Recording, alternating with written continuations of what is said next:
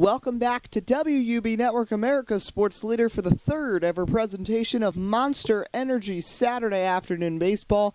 As requested by Tim Hortons Cup Series, we'll be doing a Twins game, and it's a rivalry. The Minnesota Twins, who have struggled out of the gates 5 and 11 in the first three weeks of the season, battle Carlos Rodon and the Chicago White Sox, who also have struggled 7 and 10 from guaranteed rate field on this Saturday afternoon.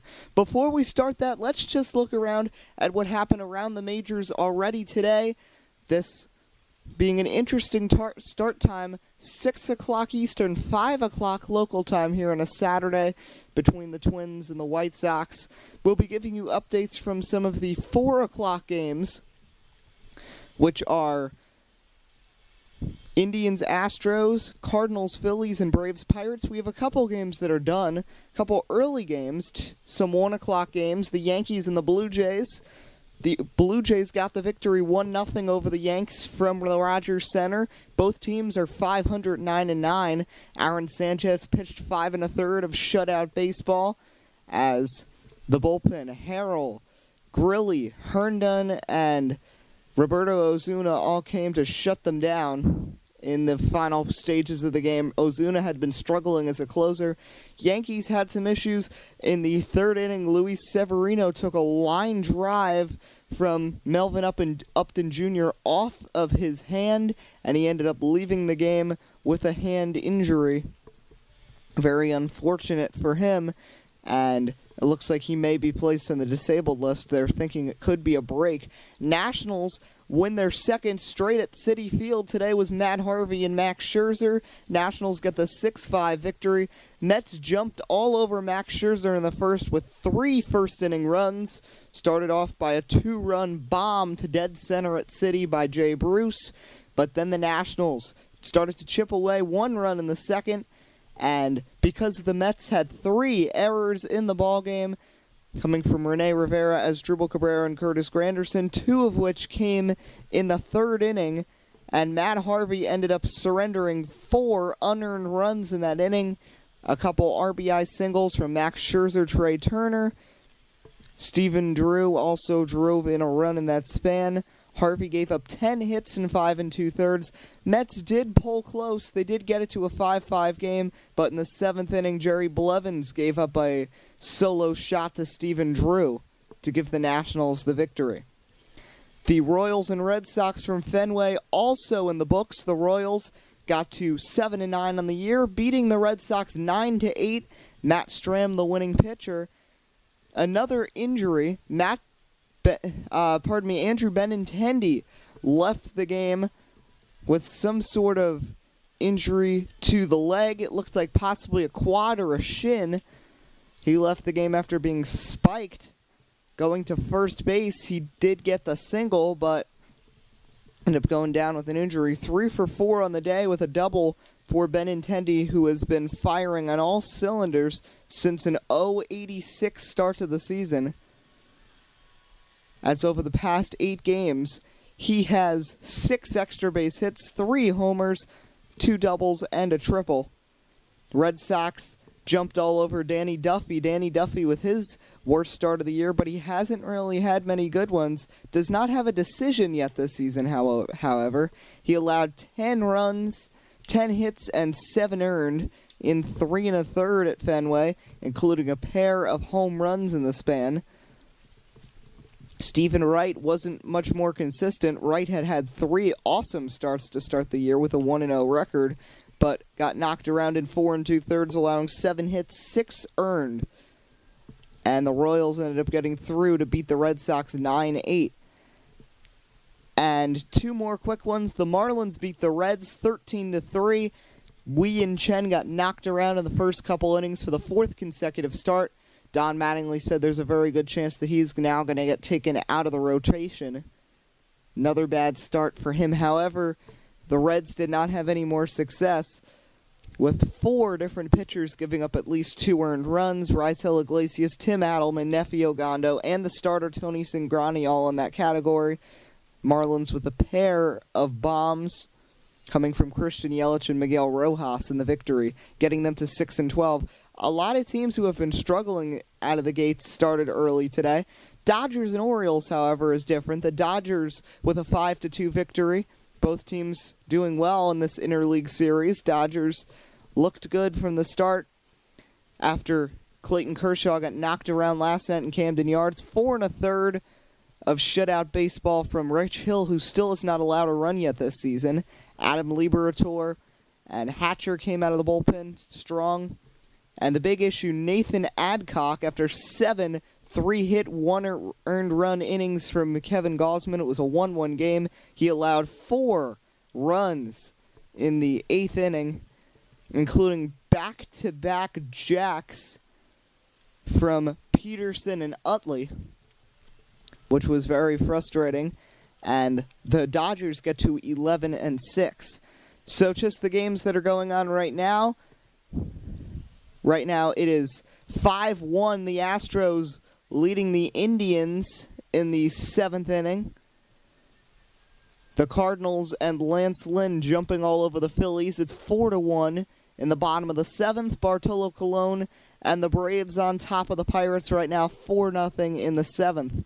We'll get you some updates from those games as they come to us. But now we have to talk about this game.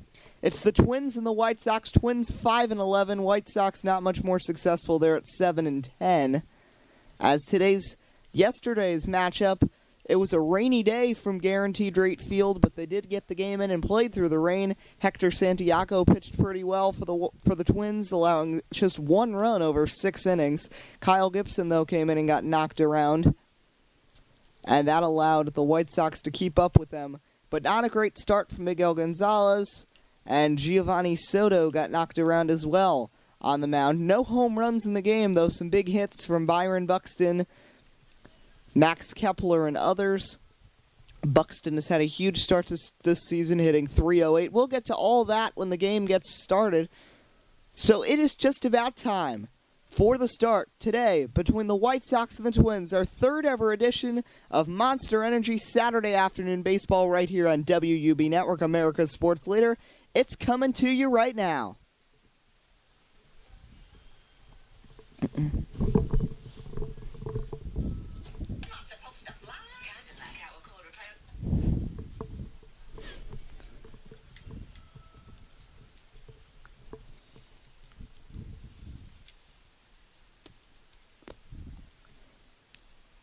This is going to be an exciting one today as getting ready on the mound Jose Berrios and Carlos Rodon, teammates on Team Venezuela, during the World Baseball Classic, and they'll be back at it again today as we are just moments away from the start on Monster Energy Saturday afternoon baseball. The Twins and the White Sox from Guaranteed Rate Field. We will be happy to be bringing it to you as we look at just quickly the pitching matchup today and how these two pitchers have performed this season. Carlos Rodon, three starts, 1 0 with a 5.40 ERA. Gave up four runs, though, in his last outing. Wasn't his best, but did not get the loss as the White Sox did hang on to win that game. Jose Berrios, in two starts, is 0 1 with a 3.38 ERA. Has a few strikeouts, has allowed some runs, just one long blast. So it is just about time as we are about to take a look at who is out there today for the Minnesota Twins. Boy, will this be an exciting one. As we look at your starting lineups, Byron Buxton, the red hot center fielder, leading off, followed by Brian Dozier, Robbie Grossman batting third, Max Kepler cleaning it up, Maikel Sano bats fifth, Jorge Polanco bats sixth, Joe Mauer struggle early going, bats seventh, and Kenny Vargas and John Ryan Murphy catching and bringing up the rear of the batting order. So here is Byron Buxton leading off as we are just about ready to get going right here on WUB Network, America's sports leader. Carlos Rodon looks in for the sign from the second year catcher Omar Narvaez. He fires first pitch. Buxton fans and misses at a fastball on the outside, and we're underway from Guaranteed Rate Field, formerly U.S. Cellular Field, new name this season, hoping to spark some new excitement here in Chicago on the opposite side. 0-1. Buxton crushes the 0-1 pitch. Deep left field. Going back near the wall. Oh, and what a catch! Oh, man. Avisail Garcia just stole a home run back. Santa Maria, Avisail Garcia. What a catch by Garcia. He just robbed Byron Buxton of a left field bomb. Holy moly. Avisail Garcia just reached over the wall, and we are quickly underway here with an incredible play. Wow, that was absolutely incredible. Avisail Garcia, not only was this a nice catch, he ran amazingly far to get to this ball. Banged his head on the yellow padding to signify a home run, but made the beautiful home run robbery catch, and that's the first out. Now that Garcia has established himself, let's look at who the White Sox and Robin Ventura have out there defensively. So Omar Narvaez, as we said, is catching, pitching is Carlos Rodon. Infield left to right, Todd Frazier at third. Everth Cabrera at short, Tim Anderson at second, Jose Abreu at first. Outfield left to right, Avisail Garcia, Charlie Tilson, the youngster, and Peter Bourjos, with Melky Cabrera as the DH. And now here's Brian Dozier, has struck out 12 times in his last 10 games, coming off of a game with 1 for 5 with an RBI single last night against the White Sox. Just a 232 start for the man who hit 41 home runs last year. Just has one long bomb, but he can change that with one swing of the bat against a guy who gives up home runs pretty regularly. First pitch, Dozier fouls it off. 0 1 the count. 0 1, here we go. Dozier fans and misses at the slider at the bottom part of the zone. Nice movement on that pitch from Rodon. 0 2 the count. Rodon trying to put him away. 0 2, the sign from Narvaez. He deals, swing and a miss on the circle change. Dozier goes down, fishing on three pitches. Nice pitching there from Carlos Rodon to rack up his first K of the day. And there's two outs now in the top of the first with Robbie Grossman ready to come up and have his turn at the plate. Had a pair of doubles last night in the Minnesota victory and overall hitting 317 on the season. Great start for the former Houston Astro. First pitch is lined into center field. Tilson going back near the warning track and he'll make the catch. Six pitches in an easy, easy, simple first inning for Carlos Rodon. Just the one mistake, and Avisail Garcia saved him with the home run robbing catch. White Sox will come to the plate next, here on Monster Energy Saturday Afternoon Baseball on WUB Network, America's sports leader. So Jose Berrios, it's been just about a year, a calendar year, since his MLB debut, and boy has he become a star, as he'll be facing Melky, Everth Cabrera, and Jose Abreu in this high home run hitting lineup. Berrios looks in for the sign from John Ryan Murphy, who's getting a lot of time now behind the plate. The former Yankee. First pitch to Melky Cabrera is lined into left, and coming in to shallow left is Byron Buxton to make the nice catch, and that is the first out. As we look at who the men from the south side have out there, Melky Cabrera, Everth Cabrera, then it's Jose Abreu, Todd Frazier, the Todd father cleaning up, Charlie Tilson batting fifth, Avisail Garcia batting sixth, Tim Anderson, Peter Bourjos, and Omar Narvaez round out the Chicago order. Chicago in their black uniforms, twins in gray. Defense, Murphy the catcher, Berrios the pitcher, Sano at third, Polanco at short, Dozier at second, and at first today, it is Kenny Vargas, outfield left to right, Byron Buxton, Max Kepler, and Robbie Grossman, a bunch of youngsters. And now here's Everth Cabrera, who has been getting on, a ba- on base a lot recently and has also been racking up the stolen bases, having three experiences as the thief in the last four games, takes the first pitch, a two-seamer, high, ball one. The sign, the 1-0 offering. Cabrera taking the fastball down the middle at 92 from Berrios all the way. Berrios, not a power pitcher, does not get much more than about 94 on the velocity on his fastballs. One and one, here it comes. Cabrera fouls off the fastball, nearly timed that one and two. Having a low velocity, though, does make it more prone to giving up hits, not blowing people away, and he does not have big movement on his fastball, which is why he utilizes other pitchers other pitches a majority of the time. 1-2 pitch. Cabrera shoots the two-seamer down the left field line for possibly extra bases. Cabrera easily into second. That is a one-out double. It was the, they were shifted to the right with Cabrera batting lefty, and he nails it down the left field line. Sano nowhere near getting to that ball. This is why the shift doesn't always pay off, as that left that left field, the third base line, so easy to get a ball past not hit incredibly hard, but Cabrera legs it out for extra bases, and the former Padres shortstop batting 362 in the early going in his first season with the White Sox, and now we'll see what he does on the base paths, being a former stolen base champ in the National League. He was with the Padres in 2012. And now that'll bring up Jose Abreu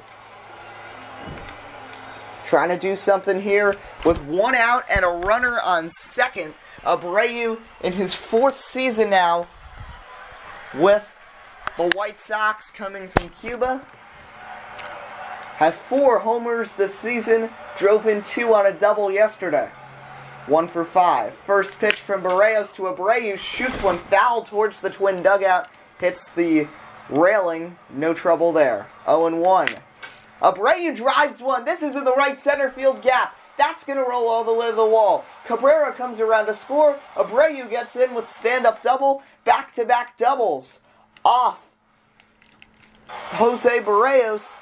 And it's 1-0 White Sox in the bottom of the first. And the fans here at Guaranteed Rate Field are excited to see the White Sox jumping on top early. Nice base running there by Everth Cabrera, and also Jose Abreu, which who is not the most fleet-footed guy, able to get in there and hustle his way in for a stand-up double. So back-to-back doubles, and now Berrios needs to get back under control, but things don't get any easier because the Todd father now bats. And John Ryan Murphy is going to come out to, to the pitcher's mound to talk to him with Cabrera, with Frazier coming up, a man who has hit a pair of homers in the last three games, but did not look himself yesterday, going 0 for 5 with a trifecta of strikeouts. Murphy goes back, no pitching coach, and no manager coming out to talk. So we'll get back going right here. The sign for Murphy, eighth pitch of the inning from Berrios, who's a bit has a bit of a sidearm motion. Fastball misses low. That makes him deceiving as well. He has a bit of a sidearm motion. It's like a half sidearm. 1-0, swing and a miss, strike one. You couldn't, you won't call him a submarine starter, but he is a sub submarine starter. He kind of has that look. 1-1 misses outside, fastball 2 and 1 to Todd Frazier. Todd Frazier just as successful with the White Sox as he was in all his time with Cincinnati in terms of home run hitting. 2-1 misses high, and now he's behind on Todd 3-1. Look for him to get the green light. With Charlie Tilson due up next, followed by the home run robber Avisail Garcia. 3-1. Frazier does drive one to center, but coming in, Kepler drops the ball. And now coming around to score will be Jose Abreu. Throw to the plate not nearly in time. And Frazier into first base. What the heck was that? Max Kepler just couldn't come up with the ball. This was an easy fly ball he was coming in on. Hit off the heel of his glove. And I, I feel like this is like something a little leaguer would do. He did not squeeze the glove. It was in his glove, and it just fell right out. And then ended up tripling behind, trickling behind him he did make a nice throw to the plate, though. Abreu did not get there by much.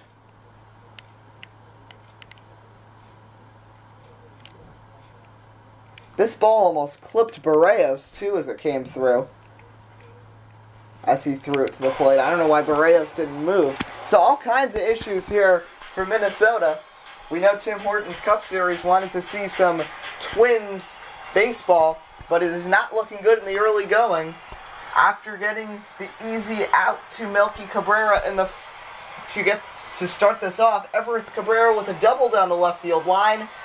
Jose Abreu with a double, an RBI double into the right center field corner, and Todd Frazier with a fly ball to center dropped by Max Kepler to drive in the run, and the White Sox lead 2 0. And now Charlie Tilson, who was 0 for 5 last night, faces Berrios. First pitch, Murphy sets up outside. He hits that spot on the slider. 1 0 the count. Berrios looking not his best out there. Doesn't look the same as he did last season when he first came up, which makes us wonder if he was rushed. 1 0 fastball in there, strike one. We know the Mets did that with Michael Conforto. Some also consider that about Christian Yelich, that he was just rushed to the majors. 1 1 is in there, strike two. People also starting to say that about Jameson Taillon of the Pirates. He has really not been himself like what he was when he first came up. 1 2. Tilson lines one up the middle. That's a base hit into center. Kepler picks it up cleanly. Frazier into second. And the cycle continues. Oh, man. This is not good. As now that'll bring up Avisail guy Garcia, who's already had a lot of action in this game with that big home run robbery of Byron Buxton on the second pitch of the game that was lined to left against the wall, he brought back that homer. Though issues for Garcia, in his last six games, he struck out 15 times. Garcia, this is why he was not always an everyday player, as he has already been K'd 23 times this season. Which I believe is more than anybody else in this lineup just 16 for Todd Frazier, 11 for Jose Abreu, 11 for Melky Cabrera, 6 for Tim Anderson. Yeah, he's the one with the highest, and he doesn't play every day. So first pitch to Garcia misses low, smothered in the dirt by Murphy on the fastball 1 0. And oh. uh, the Twins looks like they are already thinking about getting some action going in the bullpen. 1 0 misses low and inside 2 0. The one issue for both these teams, both these teams had to use a lot of their pen last night. So the Twins really don't have too much available. The main person they have that's definitely available is Adalberto Mejia, a lefty, but they have used him as a starter this season and it wasn't as successful. He's been slightly better out of the pen, but he has surrendered 10 runs. They also have Buddy Boshers, and then the back end of the bullpen is just fine. So they do have action. Now it looks like Adalberto Mejia is warming up here in the first. 2-0 misses inside, and now he's behind 3-0 on Avisail Garcia. One bad pitch, and he'll have load the bases up for Tim Anderson. So all kinds of issues here in this first inning for Berrios. 3-0, pitch number 20 of the inning. Swing and a miss at ball four. That was a two-seamer in the dirt, but Garcia went after it. Maybe proving my point about him and his 23 strikeouts in the first three weeks of the year. Three and one to Garcia. Inside of the legs, ball four, and that'll load the bases as Frazier and Tilson move over. So the bases are juiced. Frazier at third, Tilson at second, Avisail Garcia at first, and here comes the pitching coach to have a conversation with Berrios. It's been an absolutely terrible inning for Jose just one earned because the second run scored on that error by Max Kepler. And Kepler's probably feeling terrible right now because that's what this inning has come to. Berrios now has ERA up to 4.09, an ERA that was below 4 prior to the start. Carlos Rodon must be enjoying this. Only had to throw six pitches in the first and now getting a big rest. He's a guy who, if he has a lot in the tank, he can go far. He did have three complete games last season, which was fourth in the American League, behind the likings of only Felix Hernandez, Dallas Keuchel, and David Price.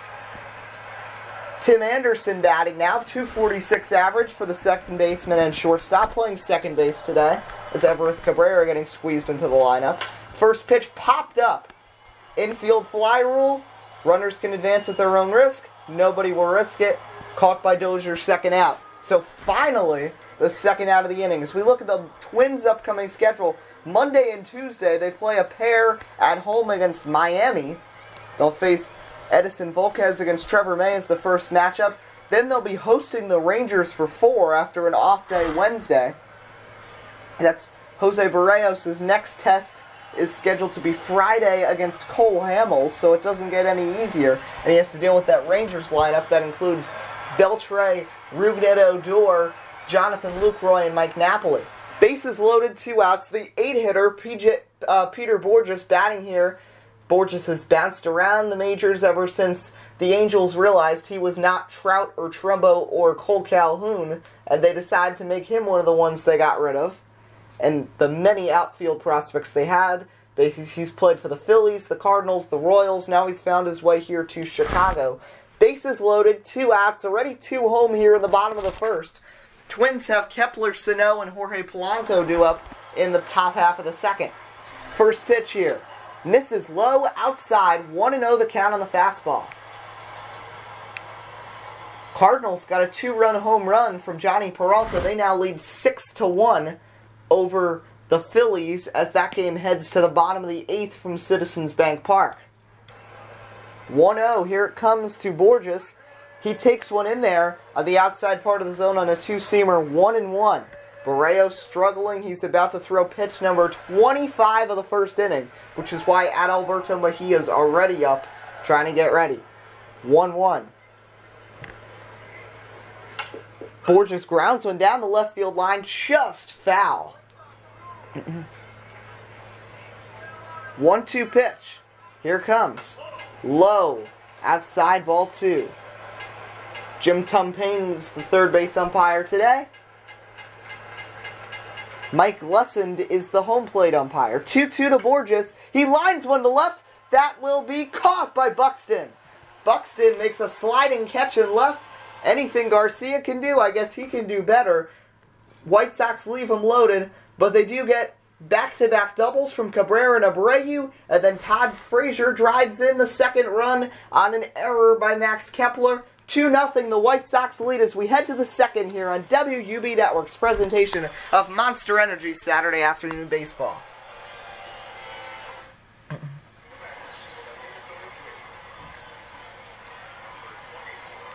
Tomorrow, don't miss the NASCAR Progressive Cup Series. Yes, it's time once again for Phoenix Internationals Raceway on NASCAR Goes West. After Kyle Busch won the fuel mileage game last week at Vegas to defeat Kyle Larson, he looks to continue his success at Phoenix International Raceway in the desert. Kevin Harvick, Denny Hamlin, Ryan Newman, all strong there. Other guys like Johnson, Logano, Elliott, and Jr. will be chasing for the victory the Camping World 500 tomorrow at 2 Eastern right here on WUB Network.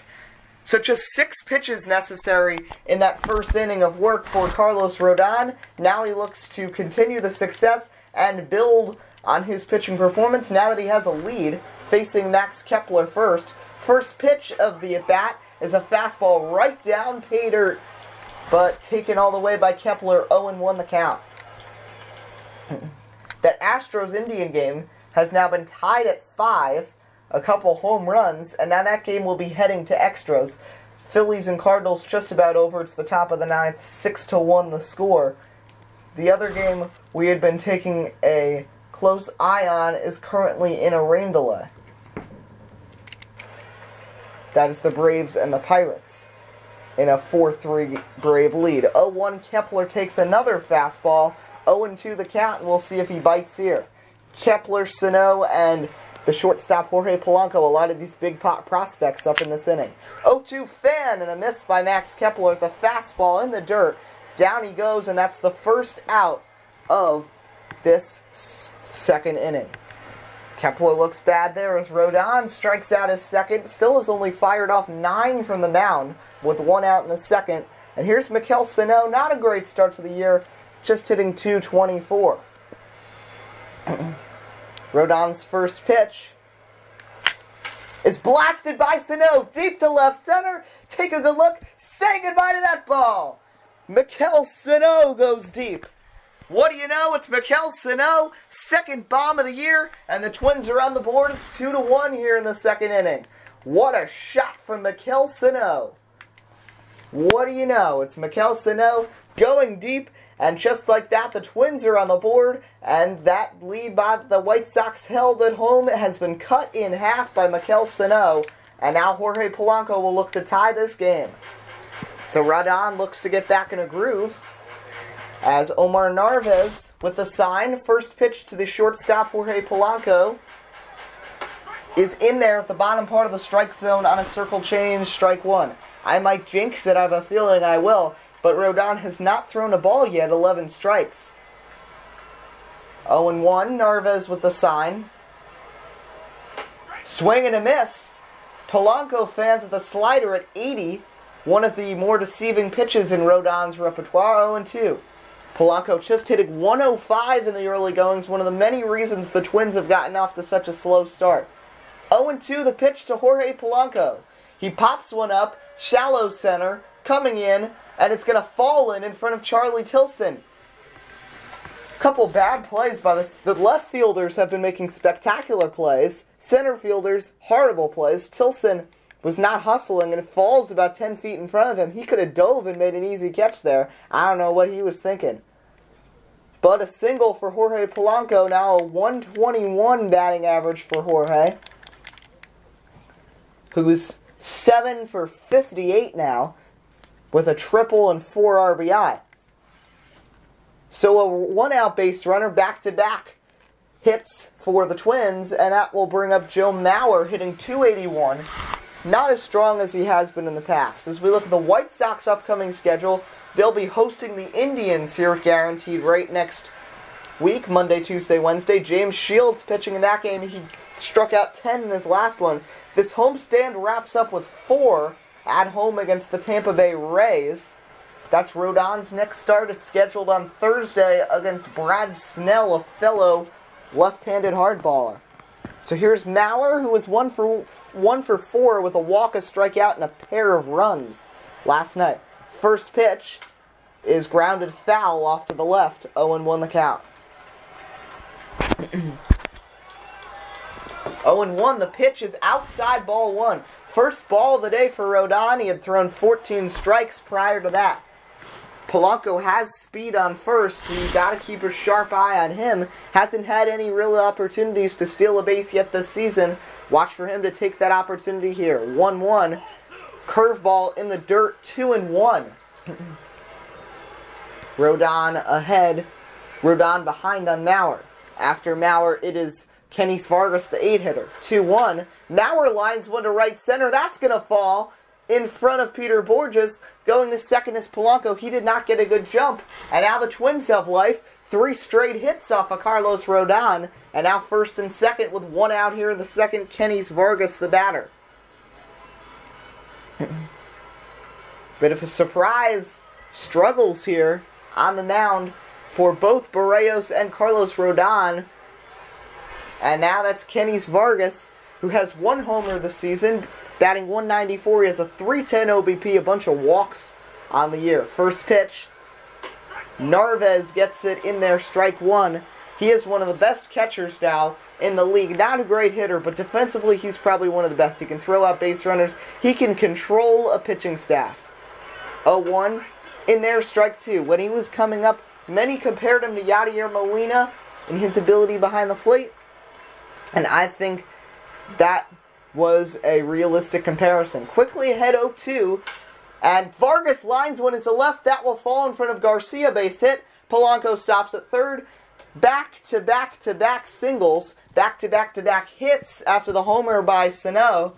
And now the bases are juiced with one out. And Carlos Rodon starting to have some struggling, but it is John Ryan Murphy coming to the plate.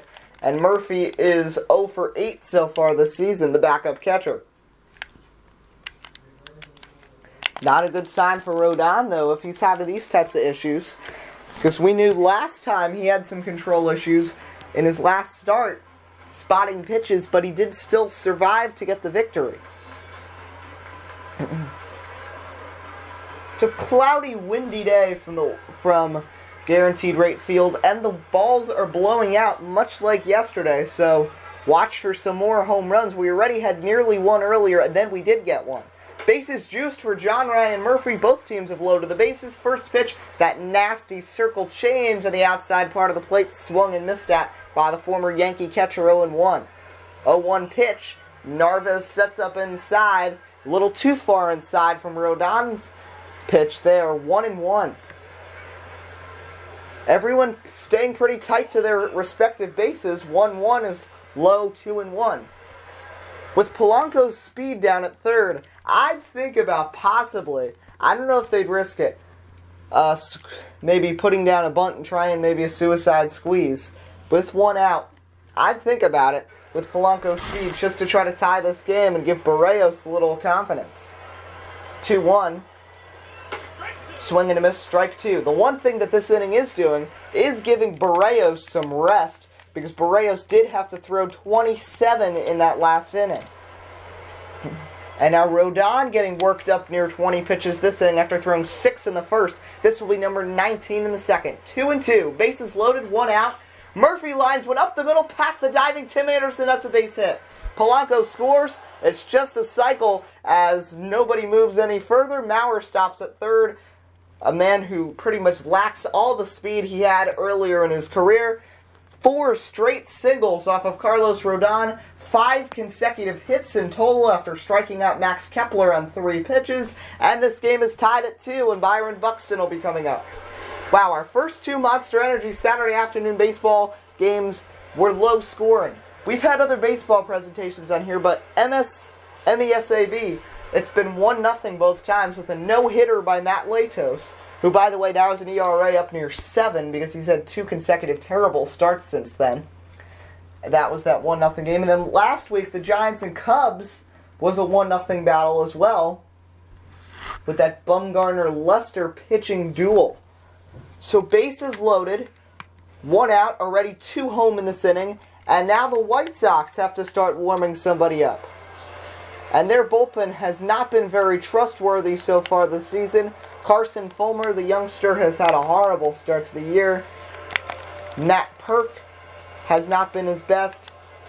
Really, the only trustworthy men they've had so far in that pen this year are Dan Jennings, and then the back end with Nate Jones and David Robertson. And Dan Jennings is the one who's up right now. So both teams getting Guys to start warming up early. First pitch here to Buxton with the bases loaded, still one out. First pitch is in there, nice movement on the fastball. Looked outside, he kind of backdoored the pitch and got it into the strike zone 0 1. Buxton had a home run robbed from in earlier in the game. I mean, he'd still like that same result again this time because he'd still end up driving in a run with it all the way back there. Three, the three slowest guys, though, on the team are on base right now. We're at third. Kennys Vargas, the big second baseman, at second. And the catcher, John Ryan Murphy, at first. 0 1 the pitch. That one misses low at the feet of uh, Buxton on the circle change. 1 and 1 the count. Two to two, top of the second inning. Already almost 40 minutes into this broadcast, only the second inning. 1 1 misses low from Rodon, 2 and 1. And Rodon is now fired off 22 pitches this inning. 2 and 1. Rodon to Buxton. Here it comes. Swing and a miss. Nice movement on the slider. Count is even 2 and 2. After Buxton, will be back to the two man in the order, Brian Dozier as the Twins getting close to batting around here in the second. Two and two the pitch.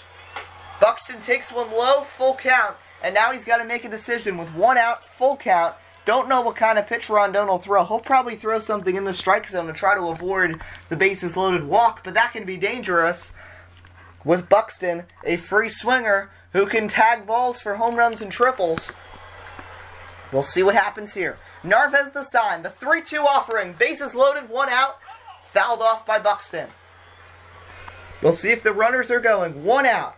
Tie game. 3 2 pitch. Swing and a miss. Down goes Buxton. Rodon gets a huge strikeout right there, and that's the second out of the inning.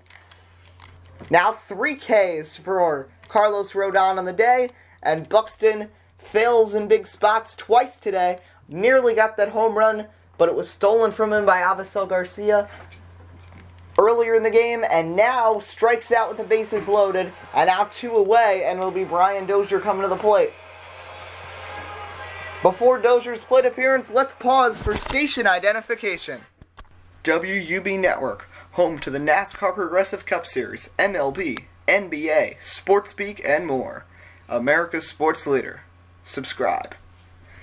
So it's been a wild inning and a half so far, and a big strikeout was just manufactured by Carlos Rodon, but he has allowed five hits this inning. It all started off with a strikeout to Max Kepler, then a home run by Maikel Sano, then four singles in a row have forced in a second run to tie this game at two. Byron Buxton just went down on strikes with a full count and the bases loaded. Bases are still juiced with two outs for Brian Dozier, who struck out his first time on three pitches. Rodon's first pitch here to Dozier misses low in the dirt, 1 0 the count. On the circle change, already 27 pitches thrown by Rodon this inning, getting Barry, Jose Berrios a lot of rest after he had a rocky first. 1 0 to Dozier. Paints the outside part of the zone on a fastball, 1 and 1 the count. Rodon looks in for the sign from Narvaez. The 1 1 he deals. This one is ripped down the left field line. Just foul, says Jim Tumpane. That was a little controversial right there. Very close. 1 and 2. Can he get the strikeout? Swing and a miss. He got him. So Rodon does strike out the side. However, it's a bit of a rocky inning as he allows two runs on five hits. But the Twins do lead, leave the bases jacked. We head to the bottom of the second, tied at two on Monster Energy Saturday afternoon baseball, right here on WUB Network.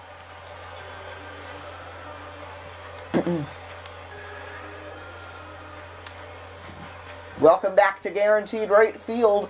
The White Sox have become the Chicago team that's been forgotten about after the Cubs made it to the NLCS two seasons ago and then last year got their World Series title. Now the White Sox trying to become talked about once again. They've got Omar Narvaez, then back to the top of the order with Melky and Everth here in the bottom of the second. Berrios fired off 27 from the mound in the first inning. His first pitch of the second is a fastball at 91 that misses outside, 1 0 the count. Narvaez, as we said, a great defensive catcher, great arms, just not a great hitter. 1 0 misses low, 2 0. Just a 213 average so far this season. That's the exact average he finished with in 2016, which is pretty ironic. 2 0, Berrios is behind. He doesn't want to have another rocky inning as Narvaez fouls off the 2 0 on the hands off into the bleachers in left field. 2 and 1 the count.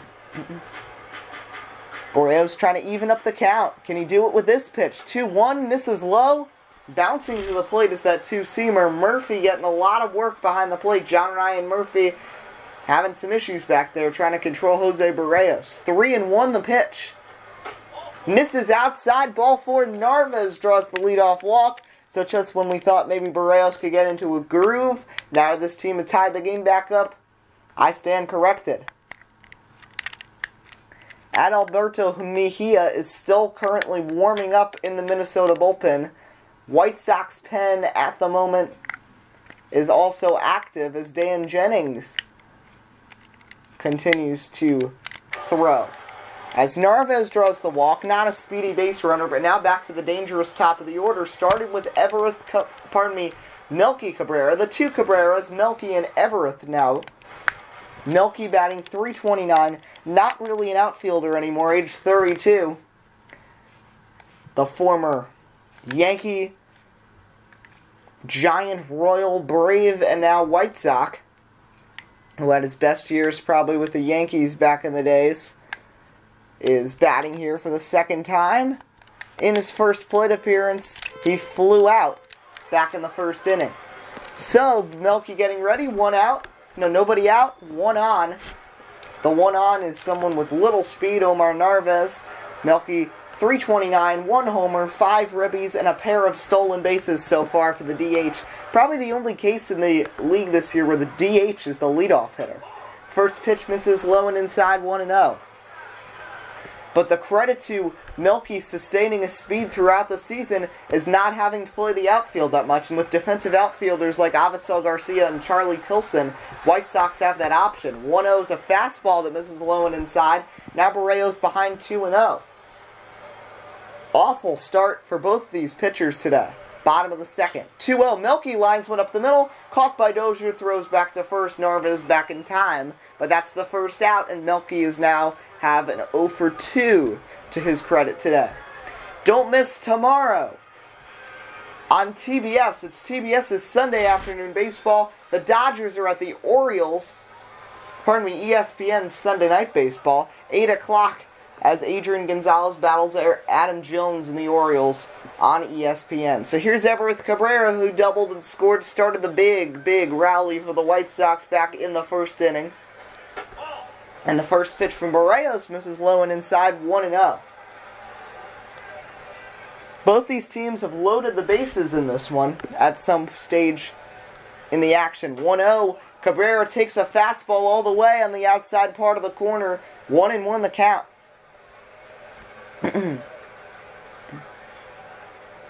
Decent lead off first for Narvaez. 1 1 breaks in the dirt and bounces to the plate again on the fastball 2 and 1. John Ryan Murphy and Narvaez are getting so much work in behind the plate. I mean, with all these pitches in the dirt. 2 1. Dropping down a bunt is Everth Cabrera. That was pretty nice. Everth just barely thrown out at first. A drag bunt by Everth Cabrera. He nearly got it to work. He almost beat that out. That does advance Narvaez to second, but there are two away. But on the other hand, Jose Abreu, who is Everth Cabrera's counterpart in the extra base hitting column so far in the early goings of this one, bats. Abreu drove in Everth Cabrera with a double to the right center field gap in the first inning. And now the fourth year man looks to continue his success. First pitch misses low ball one on the fastball. Narvaez at second, two away. 1 0 misses low, 2 0. Berrios now at 41 pitches here in the second. Really not a number you want to see, especially since the Twins used up a lot of bullpen men yesterday. Kyle Gibson getting knocked around after Hector Santiago pitched so well. 2 0 offering. Misses low, 3 0. Tomorrow's pitching matchup, it is going to be Ervin Santana taking to the hill for the Twins against Lucas Giolito. That'll be a 2-15 start. We'll see if Abreu gets the green light. Ahead 3-0 in the count. The sign from Murphy, 3-0 offering. This is high. Good eye by Abreu. And he draws the four-pitch walk. Second walk of the inning. Third of the day issued by Jose Berrios. And there's two on and two out for the Todd father. I mean, there are two outs, but Todd Frazier is a great two out hitter, a great hitter with runners in scoring position, was in the top five in the AL last season in the average with RISP. and Todd, just a 254 average so far this season, reached on that error by Max Kepler back in the first. Has three bombs, 10 ribbies to his credit. First pitch misses high ball one. That's five in a row that have missed pretty badly from Berrios who is at 44 pitches right now, and he only has 20 strikes, 24 balls. Been pretty ugly in the early goings of this outing. 1 0 to Frazier. That's a nice one, painting the top inside part of the strike zone in on the hands on Frazier, but he does get the call. 1 and 1 the count. From Mike Renslow, the home plate umpire. 1 1 is outside, ball 2. Frazier looking good. Narvaez at second, Abreu at first, not much speed. Couple walks surrendered by Berrios in this bottom of the second. 2 1 is cracked to center field. Going back is Kepler. Back little before the warning track, he makes the catch and that retires the side. So a couple walks issued by Berrios, but no more damage done. He pitches a scoreless bottom of the second. We head to the third here on Monster Energy Saturday Afternoon Baseball. We're tied at two, right here on WUB Network, America's sports leader.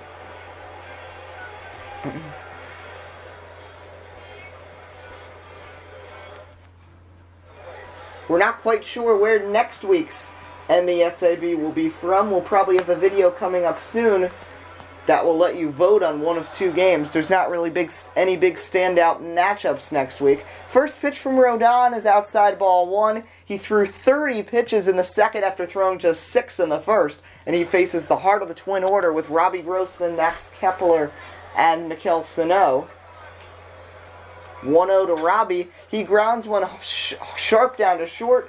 Easy play for Cabrera as he throws it down to first, and that's the first out of this top of the third inning.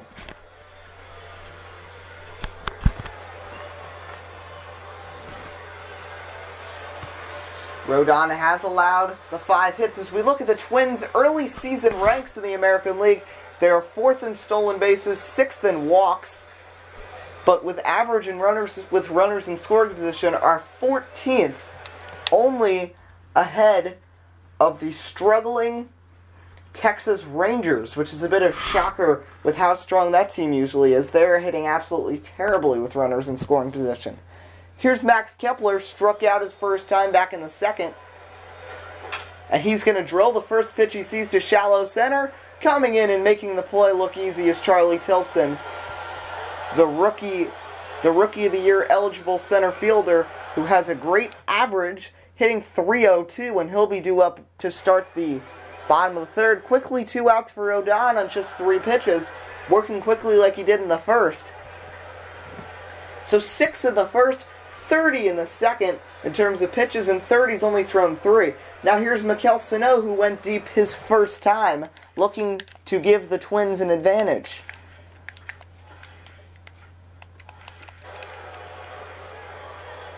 Looking in for the sign from Narvaez. First pitch from Rodon. Sano swings and misses at the fastball at just 90 miles an hour. Not his best fastball, a little outside, but Sano looking for his second bomb of the day. Swung hard at that one.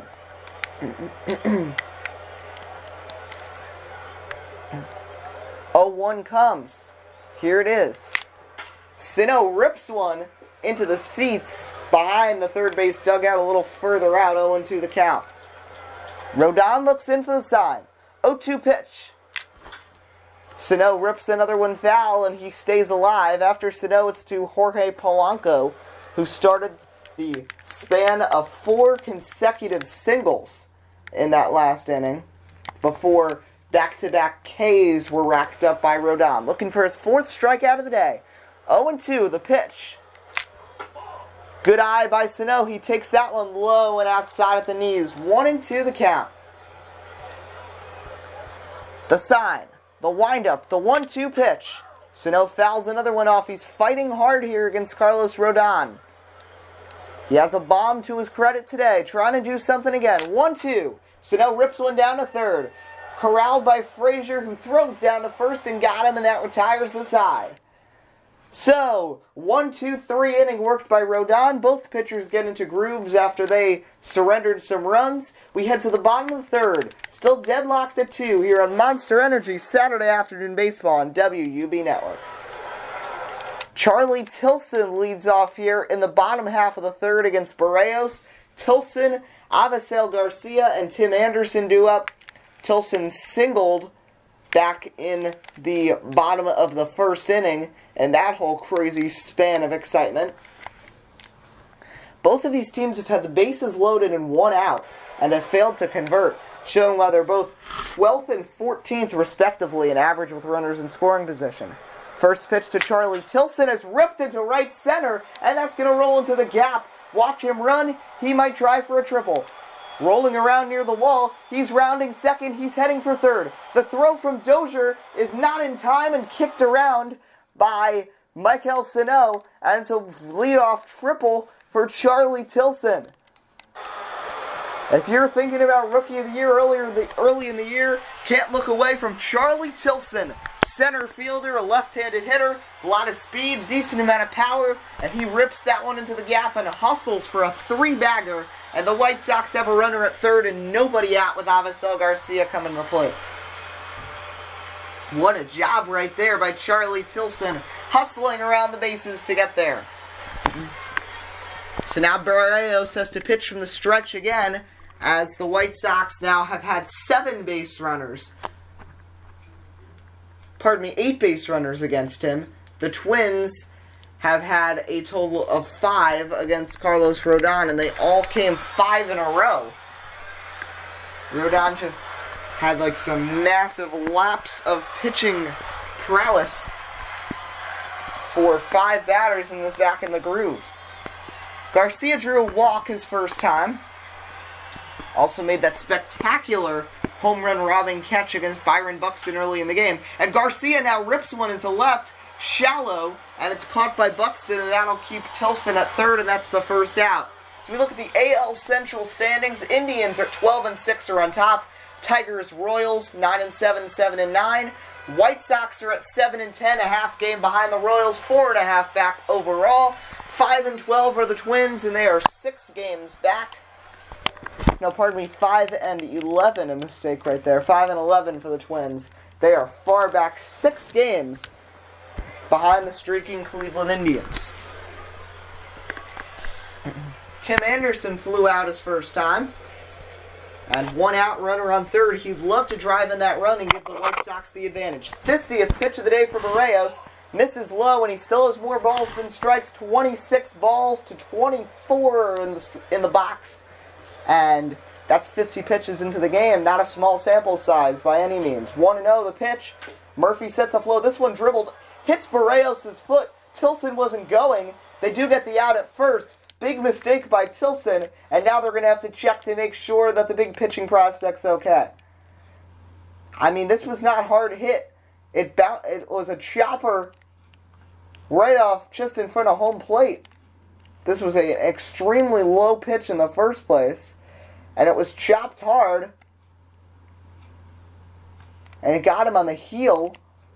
I think his cleat absorbed most of it because Berrios was able to hustle over and he did throw out Anderson. And as we watch, I mean, this is a radio broadcast, so you can't see what's really going on.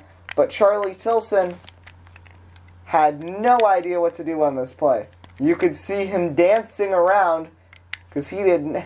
He started to come home. He hesitated and then he decided to dive back. So a big mistake there. As we look at the White Sox early season ranks, they are in the top five in a bunch of categories. Fifth in doubles with 35, fifth in triples with 5, and they also lead the majors with 23 stolen bases, most of those coming from Melky Cabrera, Everth Cabrera, and Charlie Tilson, with Everth, as we talked about, having a big year on the base paths, as he has come up with six stolen bases one for uh, what do you call it, Melky Cabrera. Charlie Tilson has stolen four. Avisail Garcia's stolen five. That's where most of them have come from. Here's Peter Bourjos. He's got one to his credit. He flew out his first time. They had a leadoff triple, but now they need to hit two outs. First pitch in there, strike one. Berrios will be really happy if he pitches out of this mess. A leadoff triple by Charlie Tilson but he's been able to work through it so far, getting Garcia to fly out to shallow left and Tim Anderson to ground one back at him, but Tilson wasn't able to come home.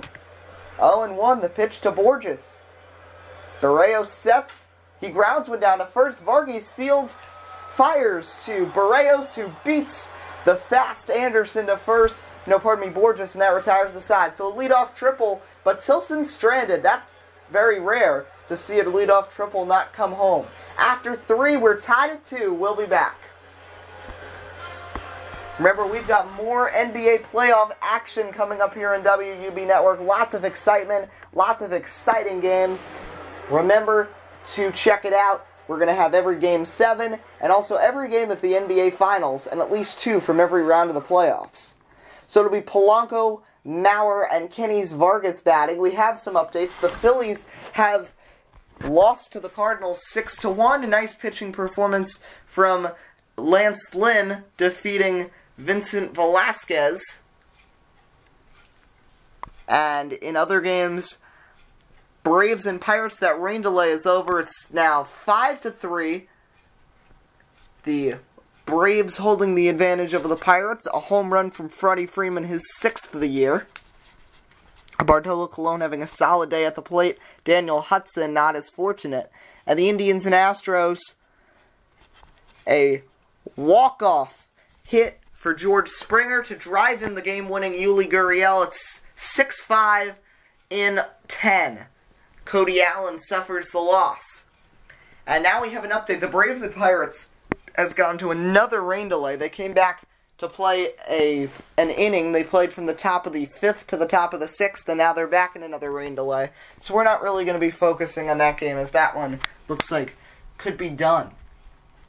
So Polanco, Mauer, and Vargas up here against Rodon, who's thrown 45 through three, got back into the groove with three easy balls put into play for easy outs in the third, and the first pitch is popped foul by Jorge Polanco 0-1.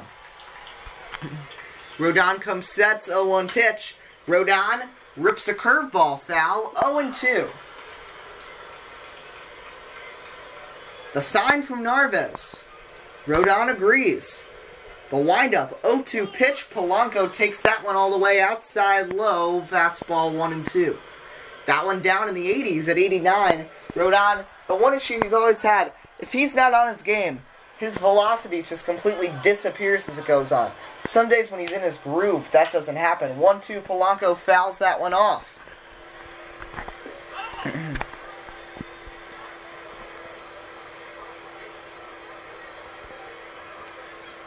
Rodon comes set. 1 2. Polanco blown away. Nice looking fastball right there on the 50th pitch of the day for Carlos Rodon. As we look, that is another strikeout. Rodon's racked up five Ks in this one. He only had eight in his first three starts. Very unaccustomed of him. This is what you usually see. This is priceless Carlos Rodon. This is what the White Sox expect. They want him. They expect Quintana to be doing these types of things as well. And then, of course, you've got Miguel Gonzalez, a good free agent signing. James Shields in his last start struck out 10, and Lucas Giolito, the young prospect coming into himself. That's a solid rotation. Not right now, but down the road, I think the White Sox are going to be very competitive again. I could see this maybe by next year. That they need a couple more pieces. They have some more prospects. They need some bullpen help. But I think they need one more big piece on this team. I think they definitely the piece they definitely need is an outfielder because Avisail Garcia, Charlie Tilson, and Peter Bourjos is not a pen, World Series or even pennant winning outfielder outfield combo. So we're gonna we're gonna have to see what types of things they decide to do in the future. I could see them at the trade deadline trying to make a move. They have a lot of prospects. First pitch to Joe Mauer, misses low ball one on the fastball. This one back up at 91.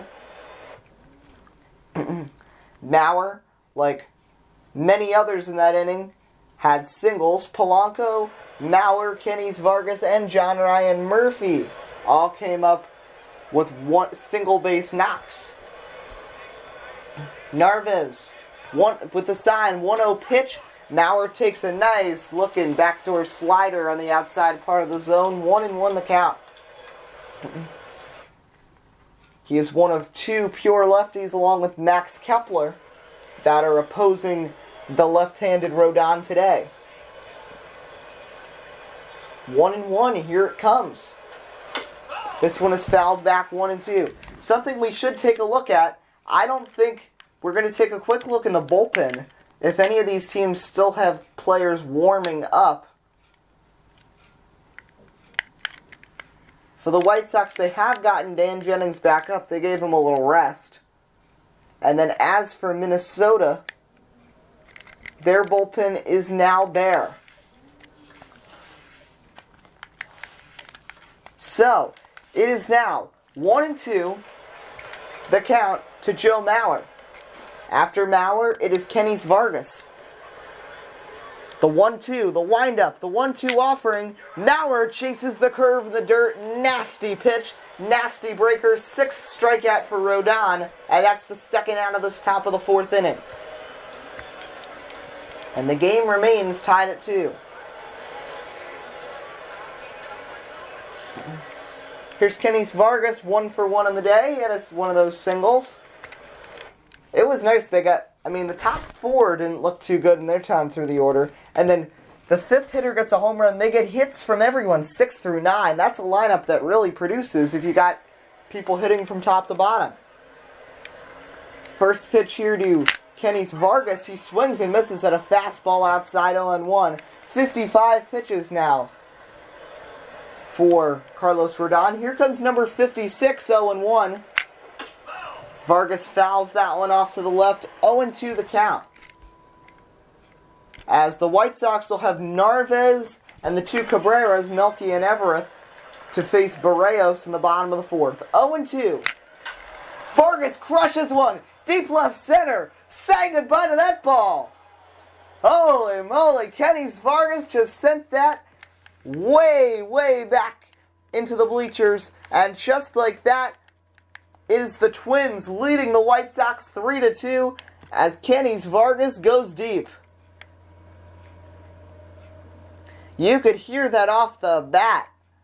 And that is about 10 rows into left center field. Near center, just a little bit left center here, Guaranteed Rate Field. And the White Sox fans frustrated after seeing that as Rodon surrenders the homer and Kennys Vargas gives the Twins a 3 2 lead. Tim Hortons Cup Series must be excited because his Minnesota Twins have now taken the advantage with John Ryan Murphy coming up next.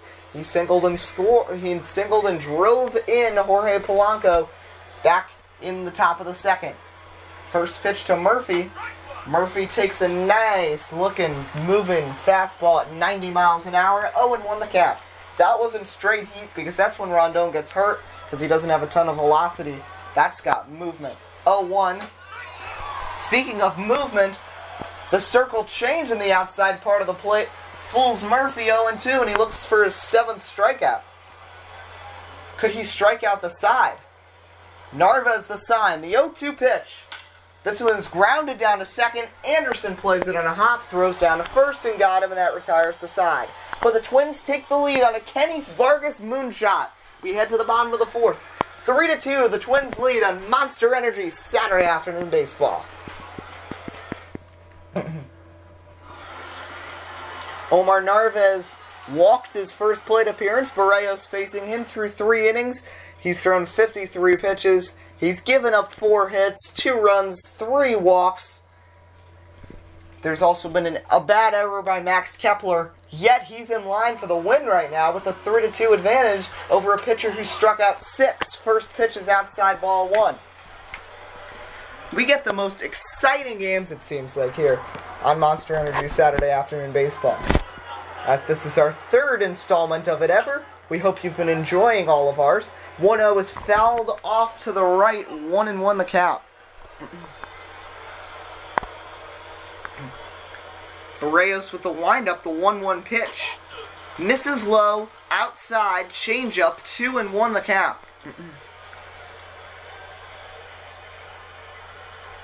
Here's the sign. The 2-1 pitch from Berrios is outside, 3 and 1 the count. Narvaez can be excited top of the order coming up next as he tries to draw his second walk of the afternoon. 3 1. Outside ball four. Narvaez gets the base on balls for the second time today. And a leadoff base runner here in the fourth for Berrios to worry about with the top of the order, Melky Cabrera. Already starting the third time through the order here in the fourth. It's been a very interesting game shall I say. That's a good word to use. Two flyouts today for Melky Cabrera, dropping his average to 325. Still a great start for the veteran. Narvaez, once again, not much speed. First pitch misses high ball one. Last time it was the same situation, man on first and Narvaez, nobody out. Cabrera couldn't move him over. Everth, though, dropped down a bunt and got him over to second. And once again, it looks like that'll be a similar situation. Pop up Shallow center, Dozier comes out, makes the catch, and that's the first out. Nice play right there from Brian Dozier getting out there. Of course, the Twins, we never even, we didn't even mention this at all. The thing that looks very different for the Twins, you know Dozier had his 40 home runs. The other man who was in the 30s in home runs last year. 31, Trevor Plouffe went to Oakland and is now the starting third baseman there and is only hitting 182 with two home runs in the first three weeks, which is definitely not what they wanted.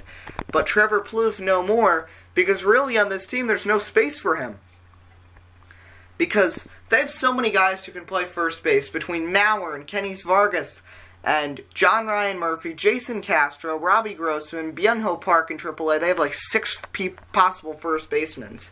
And then you've got Dozier at second, Miguel Sano coming into himself at third, and of course the biggest prospect on the team, Jorge Polanco at short. Really no space for Plouffe, and the outfield is pretty much set now with Buxton, Max Kepler, and then Robbie Grossman or Eddie Rosario. You've got four prime young outfielders. There's just no space for Plouffe. Everth takes that pitch, and it's low and inside 1 0. 1 0 pitch to the shortstop. He takes another one low and inside 2 and 0. The move here from Everth Cabrera has really decreased Tim Anderson's importance on the team, moving him to second base He's a good defensive shortstop, but Everth Cabrera probably much better when it comes to defense. 2-0 misses badly, 3-0, and one pitch away now from surrendering his fifth walk of the day is Berrios, who through 63 pitches has just thrown 29 strikes. If I do my math correctly, which I usually do, I think that's 34 balls. That's not good. Grounder, though, this could be two. Dozier flipped to Polanco down to first. Everth Cabrera, the speedster, beats it out. So that is the second out, and that eliminates Narvaez, but now it's a speedier man on the base paths than Everth Cabrera. With two outs and Jose Abreu. Nice defensive play, though, by Dozier to get the first at least. Just need to keep eliminating base runners. A double, a walk, an RBI, and a run scored for Jose Abreu on the day. One for one. Cabrera stealing, throw down to second, he's out! Everth Cabrera thrown out trying to steal. That is not something you see all the time. It's the second time he's been caught all year. He's now 6 for 8 stealing. So Abreu will be back up in the fifth as Everth Cabrera nailed down on the base paths. So no runs, no hits, nobody left. We head to the fifth inning. It's 3 to 2, the Twins leading it right here on WUB Network, America's sports leader. Remember, next week catch a new edition of Sports Speak. Lots of talk about sports, situations, highlights, game recaps, and more from all of this, your favorite sports basketball, baseball, football, hockey, NASCAR, and more. Don't miss Sports Speak with yours truly, Eddie Kalegi, right here on WUB Network. Top of the order up here for the Twins Byron Buxton, Brian Dozier, and Robbie Grossman facing Rodon. First pitch from Carlos Rodon is grounded by Buxton down to short, bobbled by Everth Cabrera. He recovers, but it's not going to be in time. An error charge to Everth. Just now, that's been a bad last two pitches. He's been thrown out trying to steal, and now he gets an error charge to him. And now a runner on first, a speedster, in Byron Buxton with Brian Dozier coming to the plate. Rodon can't be too happy about that. Dozier, however, has struck out a pair of times today. As Buxton getting a big lead off first, and they are going to throw back to first, but he dove in there before the throw even came. He extends his big lead once again. He's running. First pitch. Dozier takes it. Buxton running, and he's safe easily at second. Anderson does not put down the tag nearly quickly enough. And that is stolen base number three on the year for Byron Buxton, getting him into scoring position with nobody out here in the top of the fifth. that was a nice looking steal right there. And that's pretty much what you want from him. Great moves on the base paths from that man. So we get ready once again as they reset. 0-1 pitch. Dozier lines one to center. Tilson makes the catch. Buxton tagging. He's heading to third. And he'll get there easily without a throw. And our runner at third and one out for Rodon to worry about with Robbie Grossman coming to the plate. 306 hitting right fielder will be who Rodon has to deal with. Narvaez and him having some issues agreeing on the signs. They finally agree. First pitch is a slider in there, so at first it looked like Grossman didn't want to go with the slider. He eventually he eventually gave in, and it was a good idea as he gets the strike 0-1. 0-1 pitch to Grossman. Nice looking slider there. Top part of the zone broke down to the bottom inside part, and now he's ahead 0-2. Max Kepler's on deck. 0-2 to Robbie Grossman. Grossman lines one up the middle. That's a base hit. Buxton comes home. It's an RBI single for Robbie Grossman, and it's 4 to 2. The Twins lead it. Seventh hit of the day allowed by Carlos Rodon. That will be unearned, however, because of the error. Much like Jose Berrios only has one earned run allowed today, and now the Twins extend their lead. It is now 4 to 2. Not exactly what they wanted. Dan Jennings has still been up and down in the White Sox pen.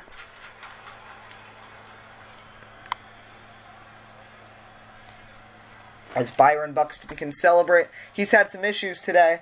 After first getting a home run robbed from him on the first at bat of the game by Avisail Garcia, then struck out with the bases loaded. Now he gets to celebrate crossing the plate. Here's Max Kepler, 185, still looking for his first blast of the year. No homers, just a pair of ribbies, just not really the start he was hoping for at all. First pitch to Kepler coming from Rodon.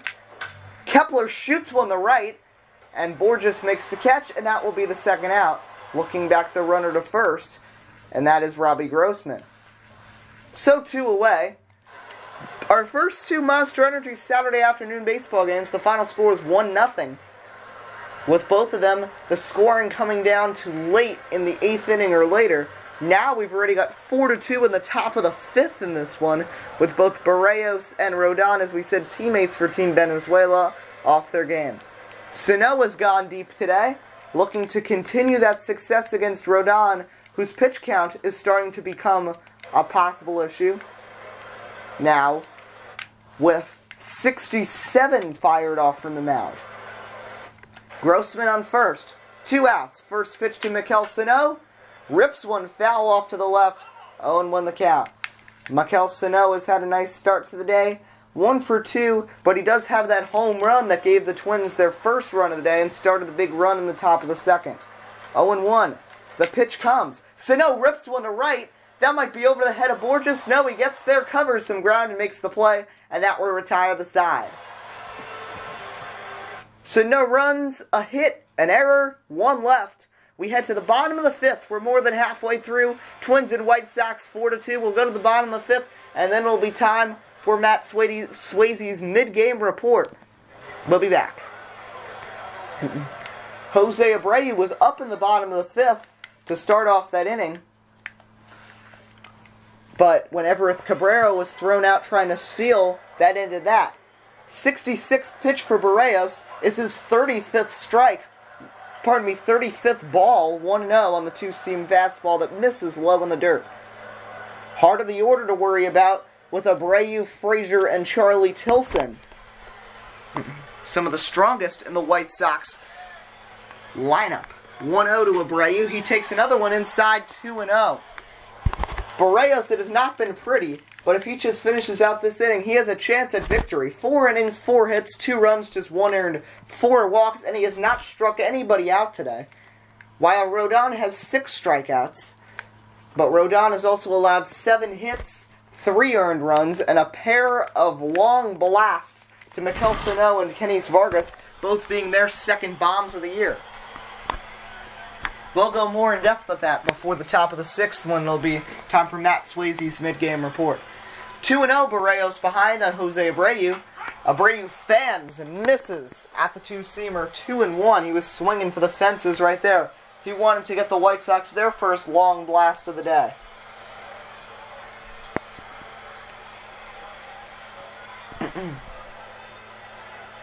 the sign from John Ryan Murphy. 2 1 from Berrios. Swing and a miss. Abreu on top of that fastball. Just missed fouling it off. But anyway, would have had the same count. It's even 2 and 2. Pitch number 70 coming up for Jose Berrios as we take a quick look in the White Sox pen because Dan Jennings is no longer warming up. He'd been warming up for a while. As we check what's going on there, they do have an arm up. I believe it's Matt Purke, who has had a solid, who is has solid innings and solid um, strength He's not one of the guys who's been used up recently, yet he has had a struggling year. Anyway, Berrios, 2 and 2 on Jose Abreu. The pitch. Abreu fouls it off to the left, fighting hard here against Jose Berrios. Count is even 2 and 2. 2 2 pitch. This one is grounded up the middle. Polanco grabs it with the glove, picks it up, throws to first, got him. Jose Abreu is retired for the first out of the fifth inning the bottom of fifth. And now it is time for the Todd Father.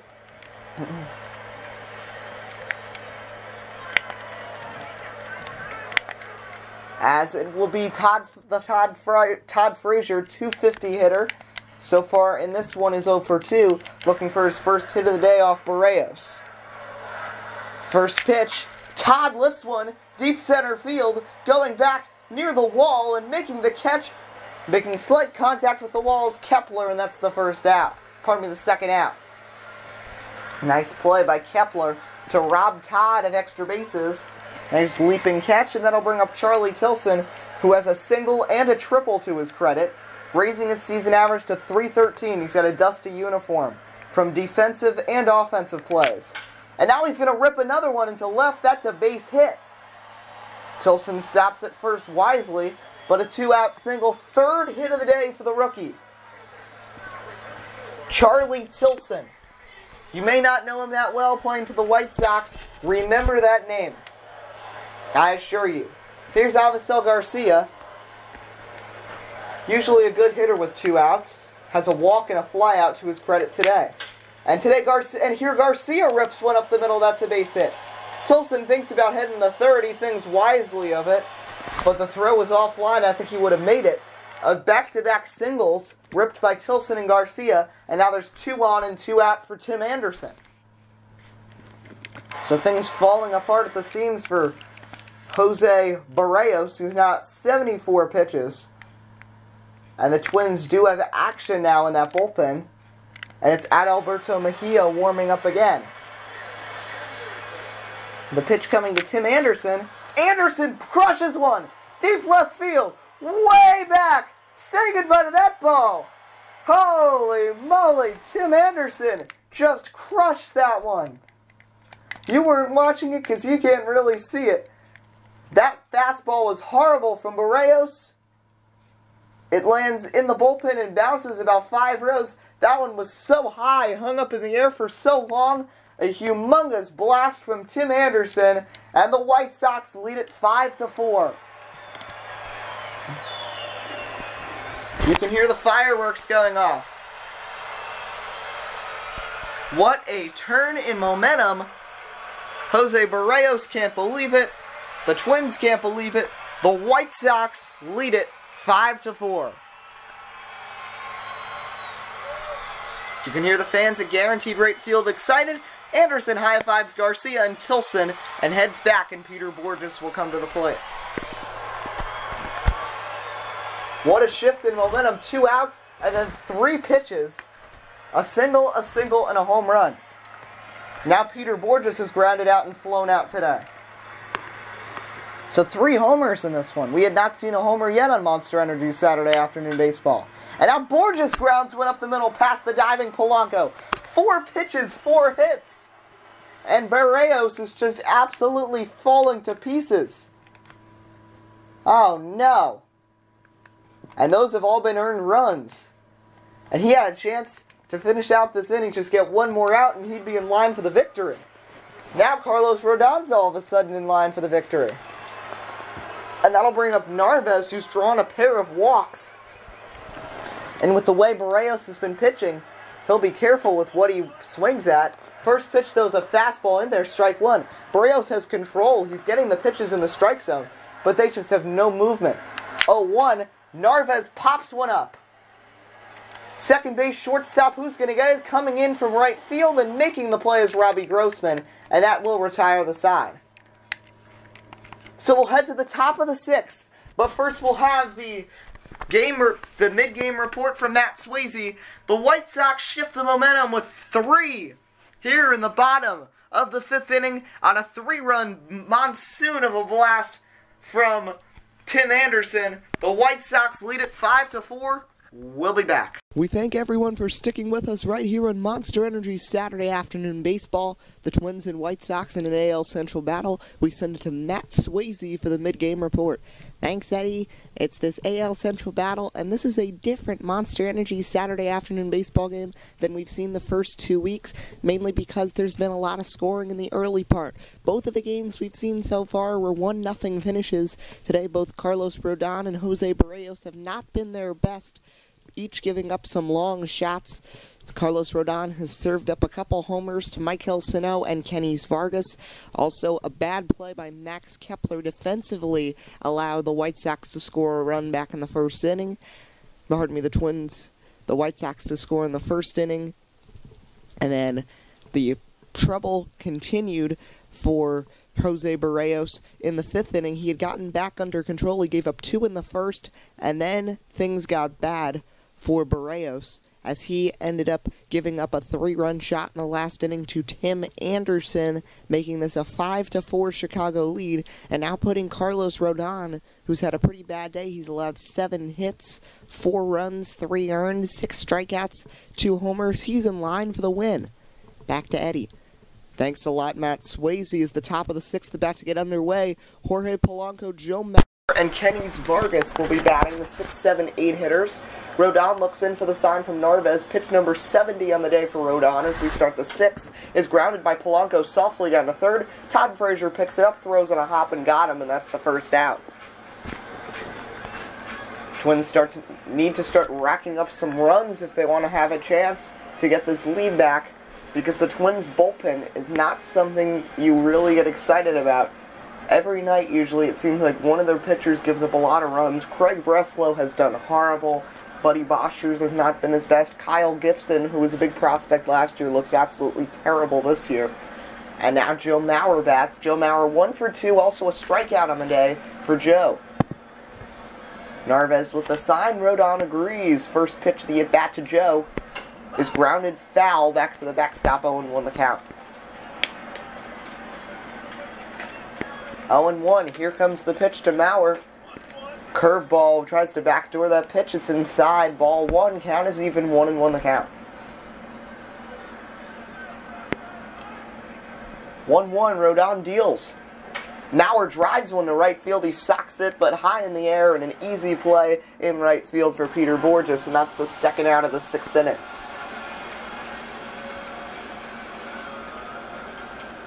Nice play there from Bourjos. That looked much better off the bat when Mauer hit that, but ended up hanging up there. The wind is kind of shifting, is going another way, and now out comes Robin Ventura. It looks like a pitching change is coming.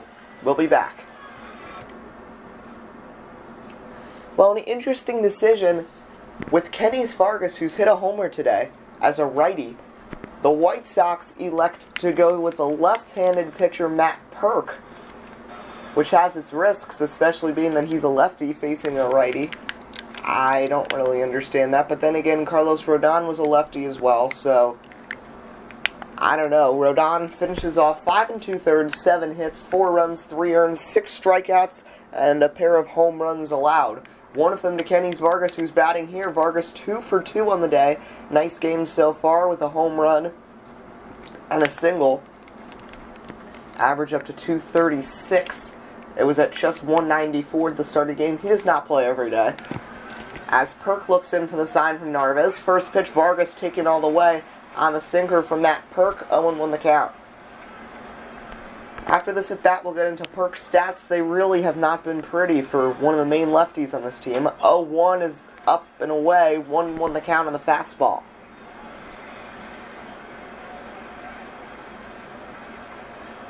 Narvaez with the sign.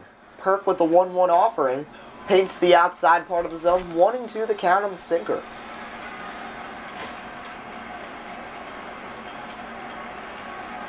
Crowd on their feet. They want to get out of the sixth. One-two pitch in there. Strike three in the bottom part of the zone. Kennys Vargas does not agree. Purke gets the strikeout of Kennys Vargas. Looks very low, but he gets the call from the home plate umpire. And we'll head to the bottom of the sixth. 5-4. The White Sox still lead. So we're going to talk about Matt Purke quickly. He has an ERA of 9 on the year. So far, 6 and 2 thirds innings pitched. He's, he has a pair of losses to his credit has struck out seven, walked four, and has allowed seven earned runs in seven innings right now. He's allowed nine hits, a couple bombs. Strikeout to walk ratio is not even two to one. That's not what you want. Top of the order now for the fourth time for the White Sox here in the sixth inning. Starting with Melky Cabrera, not a good day for him so far. The man who leads the team in average is just 0 for 3, all three of them being flyouts, one to left, one to center, one to right. New pitcher in for the Twins. First pitch is grounded up the middle to second base. Dozier grabs it by second base and fires to first for the first out. That is Craig Breslow in. And speaking of struggles, Craig Breslow has an ERA of 11.05 as a lefty, is 0-2 this season with 7 innings pitched, and has allowed 10 earned runs. 10 runs, 9 earned. With 3 home runs in there as well. 11 hits, a couple walks, and strikeouts, but not that many. And he has a blown save this year as well. He got revoked from the closing role, and they moved Glen Perkins back there. Perkins had a horrible spring training, and they decided to start the year with Breslow, and then they decided better of it as one Cabrera retired by Breslow, now he's got to deal with another one. It's uh, Everth Cabrera, who's having a nice day. One for two with a double. And also, we should just tell you that Jose Berrios, he finishes five innings, eight hits, five earned, no, five runs, four earned, four walks, no strikeouts, and the one home run. And he's in line for the loss Carlos Rodon currently in line for the win. If this result stayed up, Rodon would get to 2 0 on the year. Berrios would fall to 0 2. As we said, here comes the shortstop Everth Cabrera, who is really establishing himself as the season goes on as the man they should keep at the shortstop position, hitting 556 over his past five games, but not a good look there. Swinging a miss, and a nice movement on the fastball from Breslow, oh, and won the count.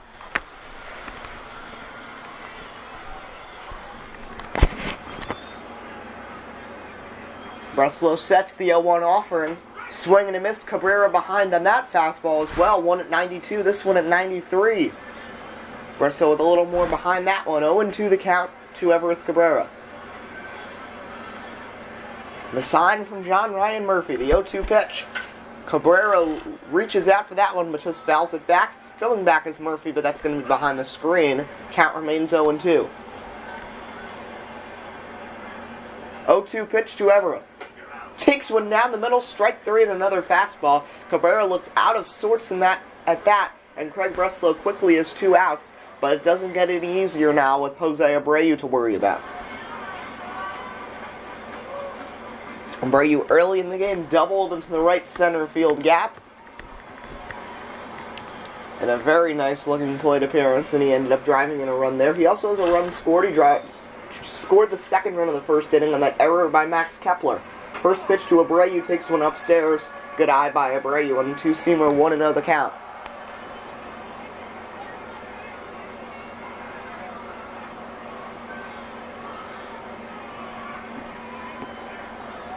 Breslow looks in from the side, the 1-0 pitch. Abreu lines linesman the left coming in and making the nice running catches Byron Buxton that retires the side. So Breslow actually with a solid inning and gets through the heart of the White Sox order. We'll head to the seventh. White Sox still leading 5 to 4 on Monster Energy Saturday afternoon baseball. Here's John Ryan Murphy, 1 for 2 with a ground out and a ribby, hitting 100 on the year. As Purke, first pitch, Murphy attacks it, flies it to shallow right. Coming in is Bourjos, he'll make the play, and that's the first out.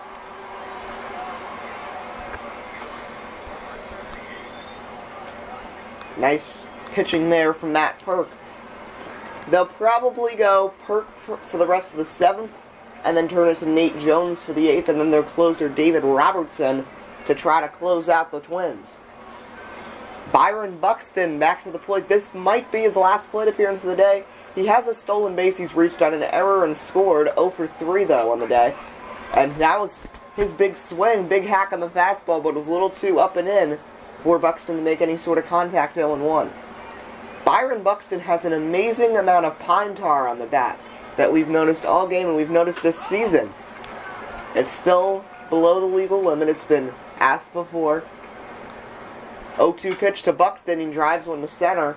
Coming in is Garcia, and he makes the catch. No, pardon me, Charlie Tilson, and that's the second out. So back to the pine tar.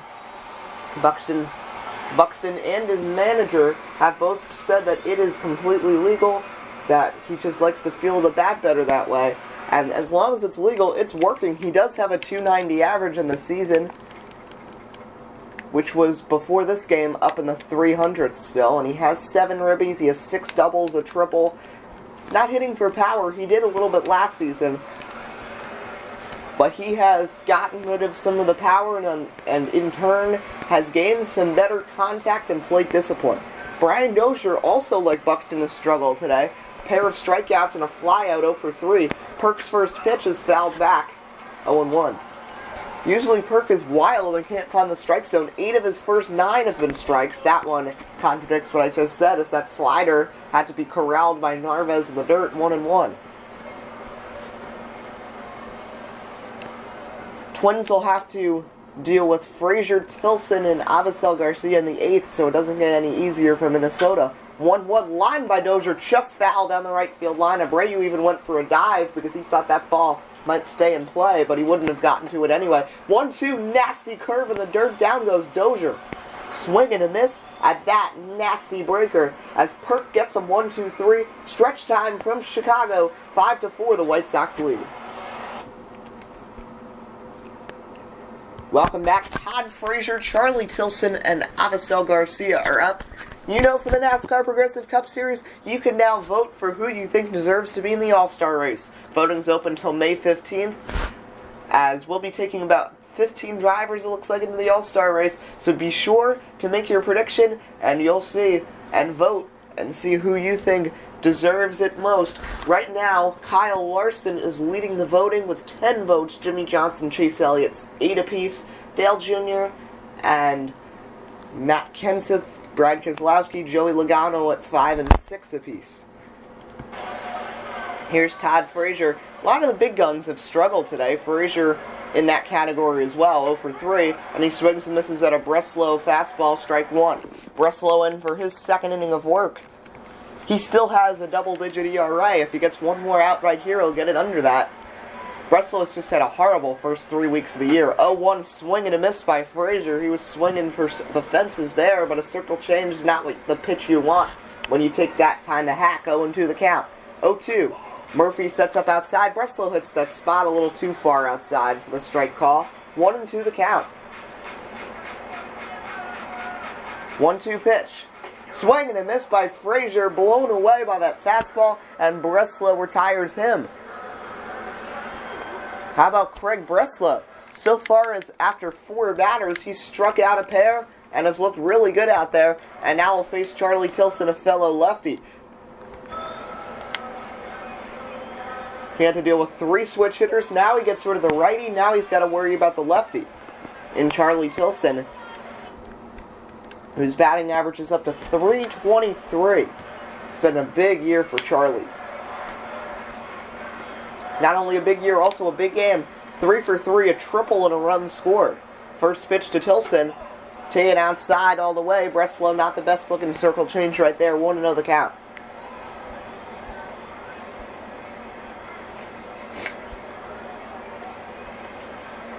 Breslow looks in the 1 0 pitch. Swing and a miss. Nasty break of the two seamer. 1 1 the count.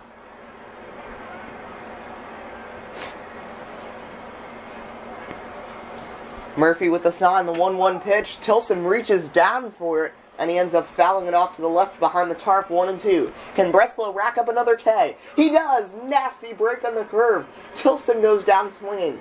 And pardon me, that was the slider at 85. Three of the five batters he's faced have gone down swinging, and now Charlie Tilson, who was 3 for 3 with a triple before that, finally does, is not batting a thousand for the day. So he'll go take a seat, and into the batter's box steps in Avisail Garcia. As Breslow looks to continue his success here, bottom of the seventh, White Sox leading at home at Guaranteed Rate Field on a Saturday night, five to four. First pitch, Breslow swinging a miss by Garcia on the heater on the outside part of the plate, 0 1. Breslow doesn't blow you away. He's in the low 90s, but he is making it look good here, 0 1.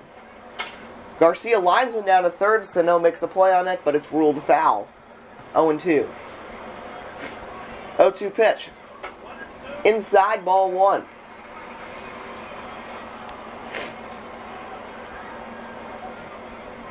Breslow looking to strike out the side.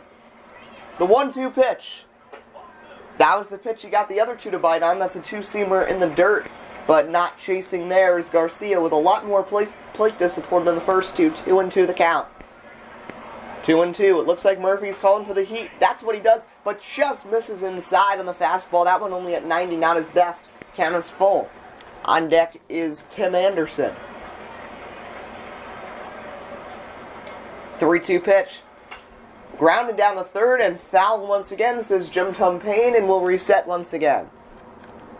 Frazier down on K's. Charlie Tilson down on K's. 3 2 pitch. Grounded down to third. Sano grabs it. Fires down to first and got him. Craig Breslow six up, six down. That's keeping the White Sox from tallying up their lead. We head to the eighth. 5 to 4, the White Sox lead. We'll be back.